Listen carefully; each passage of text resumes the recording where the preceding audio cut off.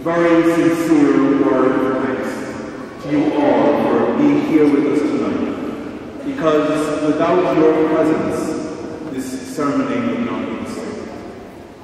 To all who have added so much to it, to our children in the Good News Club, all who work with us, to our cantors, to our parish choir, to you for your congregational singing, and in a very special way to the parish liturgy group who organized all of tonight's ceremony and brought it together.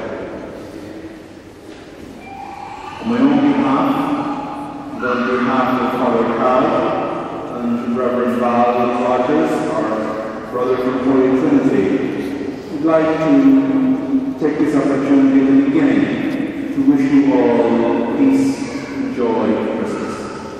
Particularly those who not be with us, and some of you will be traveling from us over the next couple of days, and will not be here on Christmas Day. A special word of blessing and safe journey to you.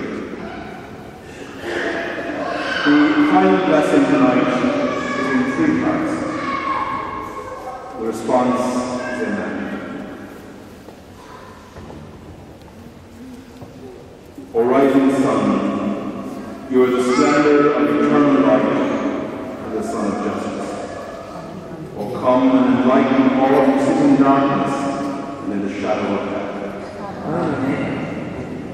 O King whom all the peoples desire, you are the cornerstone which makes us one. O come and save